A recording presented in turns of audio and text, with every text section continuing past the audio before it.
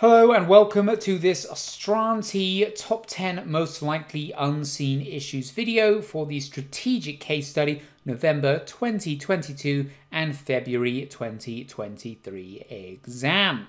In this video, we're going to look at the top 10 most likely issues or the issues that we think are most likely to arise in the exam, as the name would suggest. We have a very good rate of guessing or suggesting which issues are likely to arise. Since the strategic case study started in uh, 2015, we generally have seen around about 7 to 8 out of our 10 issues appear in every single variant. But before we begin going through the top 10 most likely unseen issues, just going to give a bit of background into where these issues have come from. So we'll look at the basis of choice and also how you can use these issues to prepare for the unseen exam.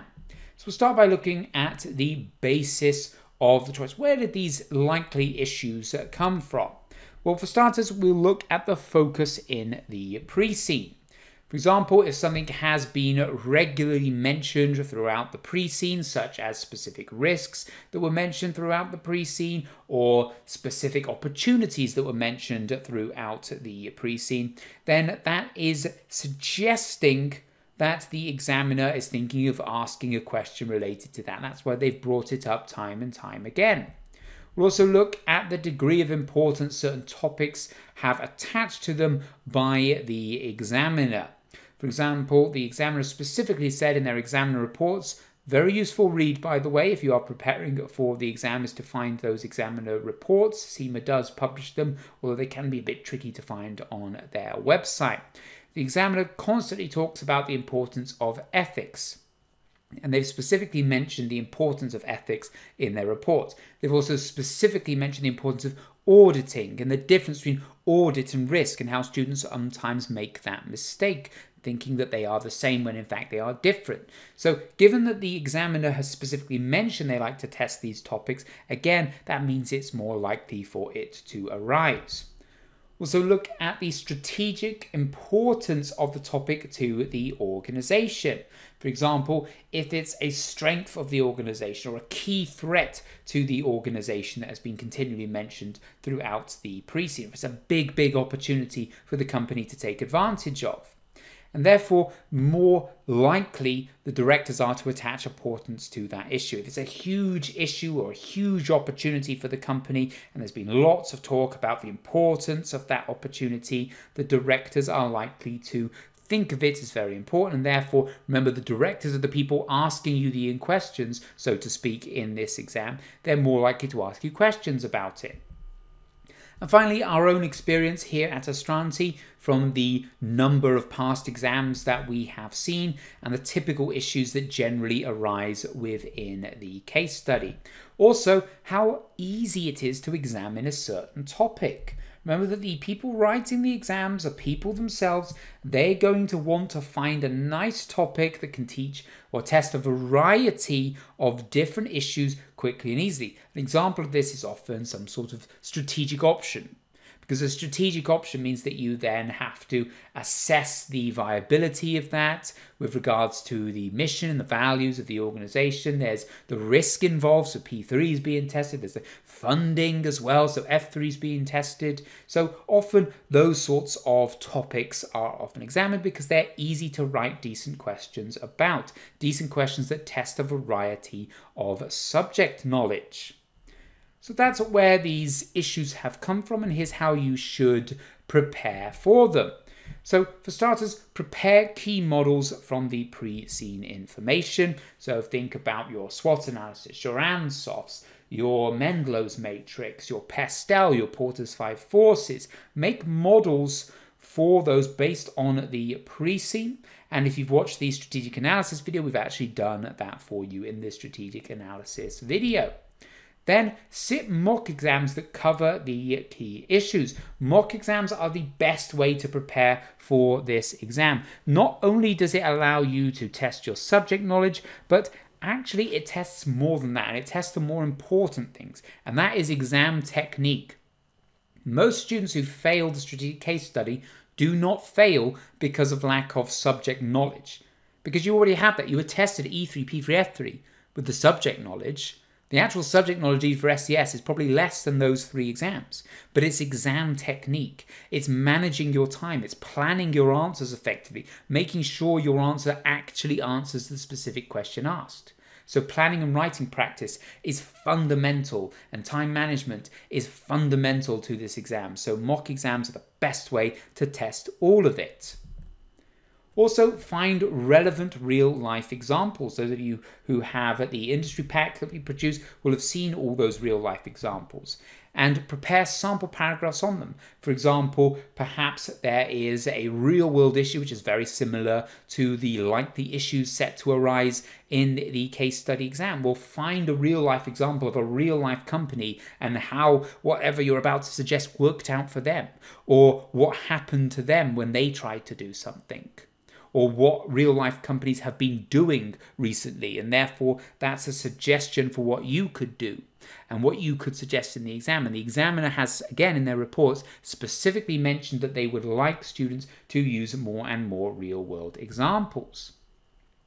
Also, learn the typical key points, advantages and disadvantages, and whether or not something is suitable in certain situations. That's always very useful. And once you have that knowledge in your mind, you can regurgitate it a lot more easily than trying to think about it on the spot in the exam.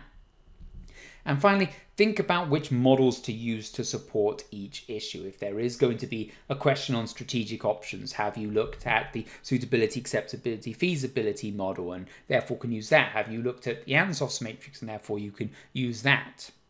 So those are the key tips that we have for you for preparing for the exam with regards to the most likely issues. But on that note, we'll now start by looking at our top 10 most likely issues, starting with number 10. And the number 10 most likely issue that we have here is funding. Now, the reason why we have chosen funding is because it is a key F3 topic. It allows the examiner and the marker to test debt funding, to test cost of capital, to test cash flow management, to test equity funding. So it allows for a lot of F3 testing. It's one of the main ways in which F3 is tested in the strategic case study exam. And it's often used as an add-on issue and it often forms part of other questions and it generally always comes up or is expected to be mentioned in your answers particularly when it comes to analyzing projects analyzing new product opportunities or just general any investment opportunity. Because as part of your role mentioned by CIMA in the SCS guide, it's your job to influence and recommend suggestions and recommend options to the CFO, to the board of directors. And that usually means you have to analyze the option with both the risk and source appropriate funding for the option as well. So it usually forms part of that. And as we know from the uh, pre-seen, that cash will likely to be needed to support new large investment projects. They only got 38 million in the bank, remember. And so it's going to probably cost a lot more than that, particularly given that a lot of that money will be needed for working capital. So likely issues for it could be for short-term working capital requirements, overdrafts, for example, to pay bills because of the very high trade payables versus the cash in the bank, or for a longer-term funding requirement for general organic growth and expansion into new countries, new projects, perhaps producing a new product altogether, or indeed an acquisition of another organization. That could be a competitor, it could be vertical integration, it could be someone in the supply chain, or it could be a different type of company altogether. Perhaps they want to purchase a solar panel producing company to start entering the solar panel market. And as I mentioned, it's most likely to be an add on topic to an investment, to a strategic option type issue. And some key points to raise from the pre-seen. And if you use any of these statistics, any of these figures from the pre-seen here, that will help to get to you extra marks as well to add weight to your analysis. The examiner has specifically said they like students to use information from the pre-seen and they have specifically said they wonder why students don't use more information from the pre-seen. But if you get any of these statistics and these figures in, then what you will be demonstrating is that you are using the pre-seen knowledge. You have looked at the pre-seen, you've understood the pre-seen, you've brought up key points from the pre-seen to aid your analysis. So as I mentioned, at 31st of uh, December 2021, Hottayr had 38 million Nordland dollars in the bank. Now that may sound like a lot, but some of that will be needed for working capital, for salaries. Remember, we've got nearly 9,000 staff members here at Hottayr, and the current liabilities, trade payables, tax liabilities, etc., are already very, very high, far higher than the trade receivables oh, sorry, far higher than the cash in the bank. Now, they do have a positive current ratio, so if those trade receivables are called in, they would be able to pay off those liabilities. But if they can't get that money and they have to use the cash, they've got less cash than they have liabilities. And cash flow budgeting is a crucial part of an organization's survival. Yes, you might be profitable over the course of a year, but if you get all your money in very early in the year, and then you spend it all, but then you've still got 11 months of salaries and things like that to pay, and you don't have the money for it. Even though over a year you may technically on paper be profitable, you're going to have a lot of problems. So it's often very important to budget for negative cash flows and also to have a certain degree, a certain proportion of money set aside for a rainy day, as they say. So the organization probably is going to need to raise additional funding if they were to undertake any new projects. Now, they could undertake that through debt funding. The debt funding is at an okay level, 49.02 or 32.89%, depending on whether you use the long term debt divided by equity or the long term debt divided by long term debt plus equity method for calculating that. There's no right or wrong way to calculate it as long as you specify it and you use the same one each time. They also have over 358 million Nordland dollars in tangible physical non-current assets that could be used as security to raise additional debt against. Other ways in which they could also raise funding, though, would be through equity funding. Now, equity funding is Unlike debt, it's not as quick, it can be expensive to raise funds for equity, whereas debt is quick and is low cost, but dividends are optional and there's no need to pay back the capital. Also, we are a traded company, so we can raise money through the stock market. Our share price has increased 150% in the last three years as well. So we might actually be quite an attractive proposition if we were to try to raise money through the stock market. And another model that you would use when you're talking about this sort of thing, when you talk about lenders, equity providers, etc., is where they sit in your Mendelow's matrix, in your stakeholder matrix. Generally, lenders will sit in the keep satisfied category. They're not too interested in your day to day operations as long as you're paying your interest, etc., but they will have a lot of power over you, uh, particularly if you stop paying that interest and also your equity providers, again, depending on the size of the holding, small shareholders perhaps not, but very large institutional shareholders might be very powerful as well. So that's the first issue, funding, and again, it's most likely to appear as part of a another question, particularly with regards to strategic options or acquisitions or something like that. Now on to issue number nine, and we've gone for a staffing issue, issues with the staff. And uh, the reason for that, again, is these are incredibly uh, common and leadership, people, stakeholder management skills are very, very important strategic case study topics. They are part of what you are supposed to be able to achieve in terms of the, the syllabus, the CIMA syllabus and CIMA criteria. And these is the most obvious topic that relates to these two criteria. And that's to do with both the management, so the board of directors, and also the staff within the organization. And furthermore, it was specifically mentioned as a risk within the risk report in the pre-seen. So, what likely issues could there be to do with staff? Well, perhaps a key staff member leaving. The CEO leaves the organization. Dr. Ava leaves the organization. Now, those of you who watch the other videos, I suggested that this may be something that may happen because they had been a board member for 10 years, and governance suggests that there should be nine years as an absolute maximum. So, she may leave the organization. Now, what can happen when a key director leaves is that the share price can suddenly react in a really negative way and drop by a huge amount. For example, a couple of years ago, the Tesla CFO left the organization suddenly and the share price dropped almost 10%. And for a company the size of Tesla, that was billions of dollars wiped off the value of the organization.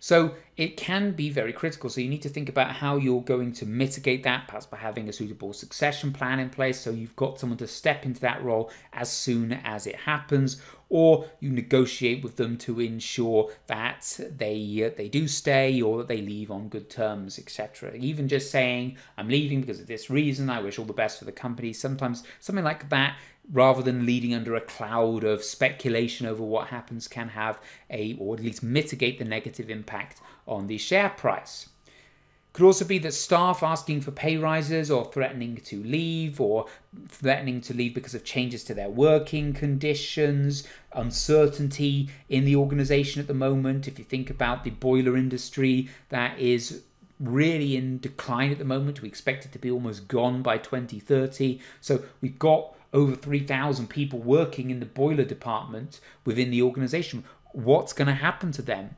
Are they going to uh, be made redundant? Are they going to be worried about their job? Are they going to worry that they're not going to be given the opportunity to train to work on the pumps or, or the panels if they go into panels or anything else like that? All of these are big issues. Or it could be that they are growing, that they want to export more, they want to potentially even build factories in other countries to cut down on the costs of exporting. And are they going to be able to find and recruit the right people for that? We know that quality is so critical to this organization. It's one of the big critical success factors. One of the big things that they stand for is quality, reliability, efficiency, safety. All of these need high quality engineers to create the products. So staff are very critical to the organization. Some key points to raise here could be that it's difficult to replace the management experience, particularly if someone like the CEO left, and again mentioned already the importance of the market confidence and what it can do to your share price, and also the importance to the staff of the strategy. The product quality is a key risk. There's operational risk to not having enough staff as well, and the keeping staff satisfied, as almost 9,000 staff members are required. It's also part of the company's underpinning values is to be a safe, a secure place, a place that people want to work. So we, if we are mistreating our staff, we're going against our own values, which of course we as an organization would not want to do, particularly as we keep our promises, remember. And we, if we're promising to be fair to our staff, we must keep our promises. That's one of our values. Some relevant theories here, again, Mendelow's as well, that very important key staff, such as the CEO, will be key players, and this will give them a lot of power in any kind of negotiation. Also, the risk of losing very experienced staff members to competitors would be very detrimental to the organization as well. So, that if they en masse were to threaten anything, then that could give them a lot of power. If they were to unionize, for example, trade unions very common in this sort of industry, then that could be really well, they could have a lot of power, and that could give them a big edge in any kind of negotiation.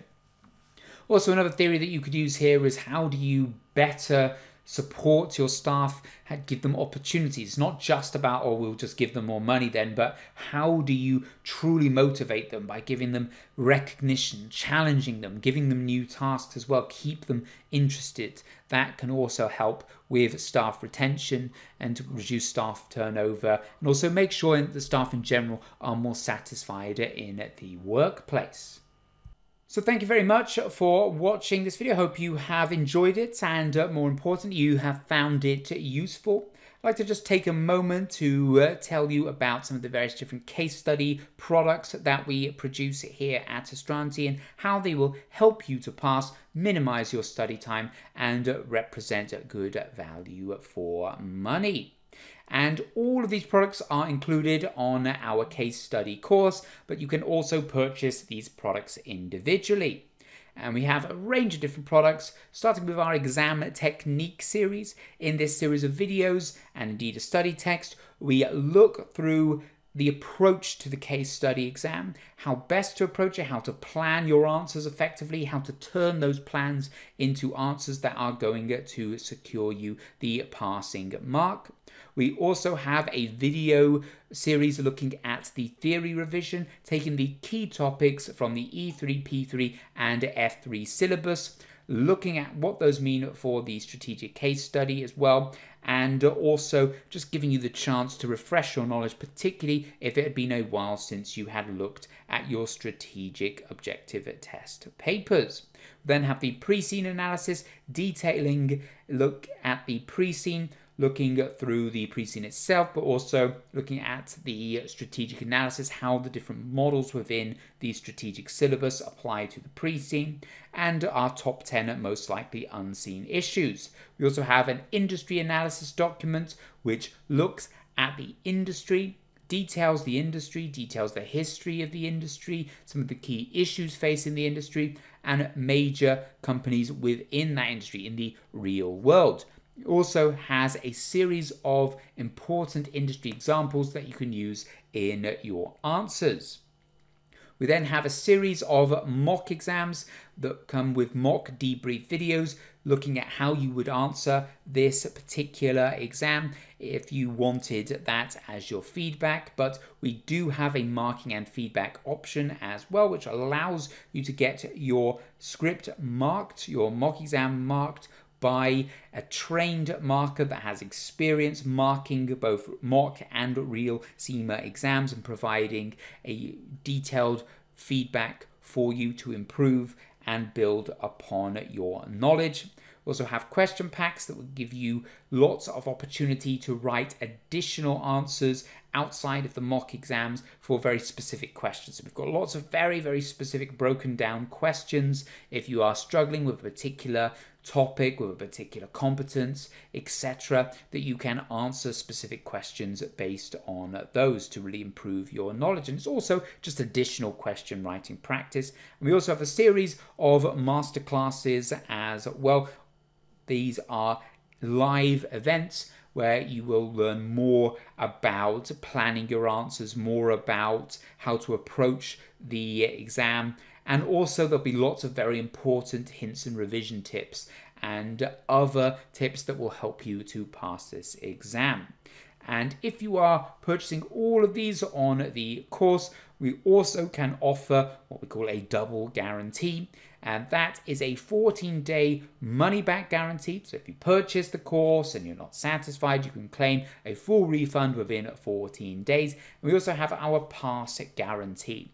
And this is where, as long as you have demonstrated that you have fulfilled the course requirements, such as watching all the videos, submitting all your mock exams, attending the master classes, and if you still do not pass the exam, we will give you another course for free as part of our pass guarantee. So thanks for watching. If you do have any other questions about the Astranti case study courses, please feel free to contact us and we'll get back to you as soon as possible. And if you just have any general questions, then by all means email us and visit our website. So thank you for watching. I hope to see you on another video soon.